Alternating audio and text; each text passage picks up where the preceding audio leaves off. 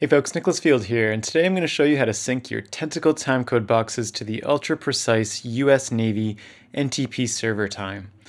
But before we get into that, first I want to discuss why time of day is a useful way of jamming your devices. I'm also going to touch on some important things to keep in mind when managing sync on projects.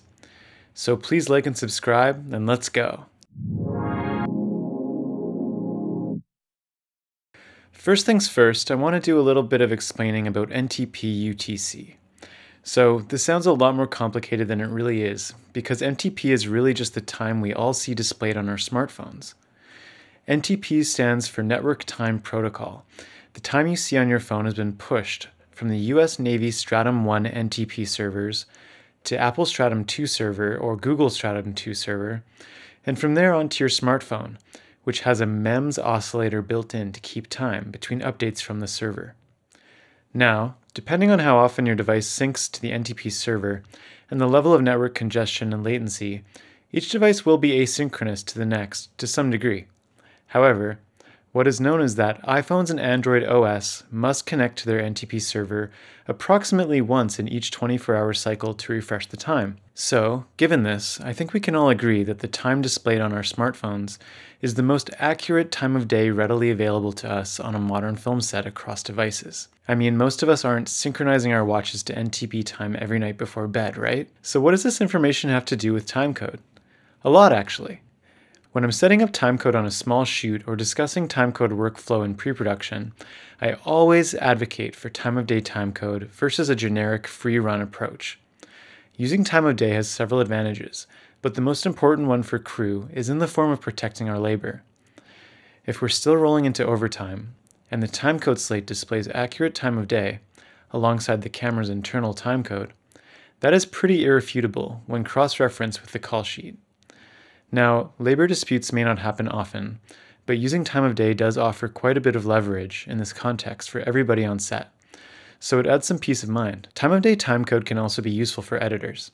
I work on a lot of documentaries, and when I do, we film a lot of footage. Oftentimes, interviews will be transcribed for editing, but sometimes we capture gold during run and gun filming. When this happens, the director can just use their phone to note the time when useful footage is being filmed, and this can quickly and easily be matched to the footage when reviewing in post.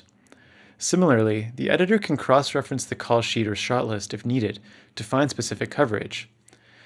Not everyone I encounter in this industry has the same level of technical ability, so I like that this is a straightforward and simplistic way of helping speed up the editing process on under-resourced projects. Now, depending on the frame rate you're shooting in, time of day is not a perfect solution.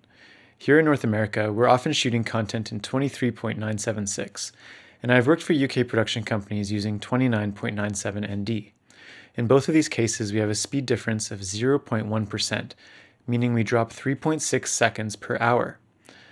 Basically, if you rejam your timecode at lunch like you should, you should stay within 25 seconds of NTP time.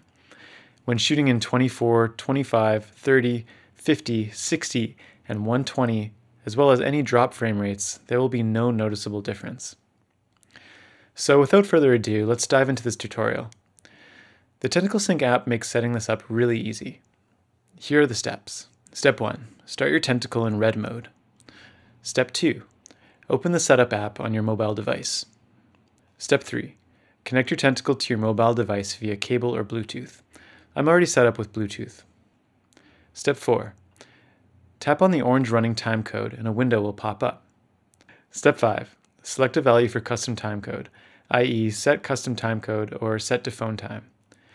Step 6. The running time code will switch to that time and change to green. Now, it's important to only set a custom time code to one of your tentacle devices. This will act as your master time code, which you then use to sync the rest of your boxes and devices.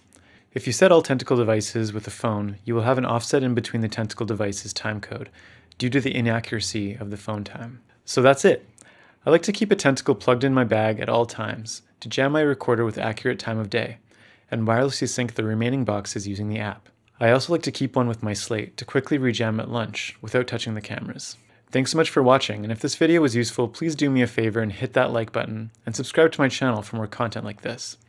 It goes a long way in supporting what I do. If you'd like to support my channel directly, you can donate via the PayPal link below, or you can shop for useful gear via my affiliate links, where I receive a small referral fee at no additional expense to you. Finally, if you have any topics you'd like me to cover in future videos, feel free to drop me a line via the Google Forms link in the description below. Peace.